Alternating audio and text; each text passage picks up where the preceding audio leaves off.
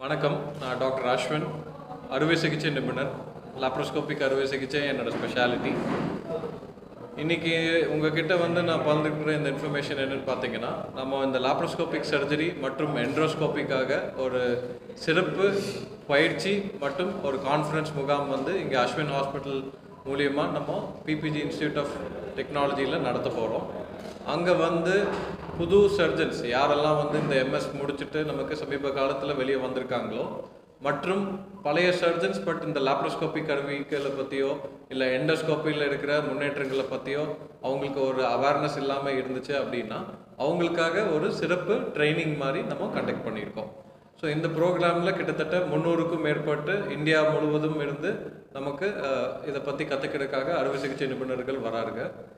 And இந்த ட்ரைனிங்கை வந்து அவங்களுக்கு சரியான முறையில் கற்றுக் கொடுப்பதுக்காக கிட்டத்தட்ட அறுபதுக்கும் மேற்பட்டு இந்தியாவிலேருந்து ரொம்ப பிரபலமான அறுவை சிகிச்சை நிபுணர்களும் வராங்க.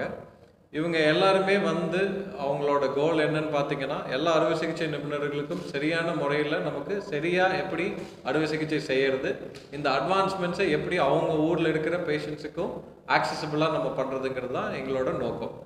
ஸோ முதல் முறையாக இந்தியாவிலேயே வந்து இந்த ரெண்டு ப்ரோக்ராமும் தொடர்ந்து ஒரே இடத்துல நடத்துறது வந்து நம்ம கோயம்புத்தூரில் தான் அஸ்வின் ஹாஸ்பிட்டல் ஆர்கனைஸ் பண்ணுறது ஸோ இதை பற்றி உங்ககிட்ட வந்து பகிர்ந்துக்கிறதுல எனக்கு ரொம்ப பெருமை.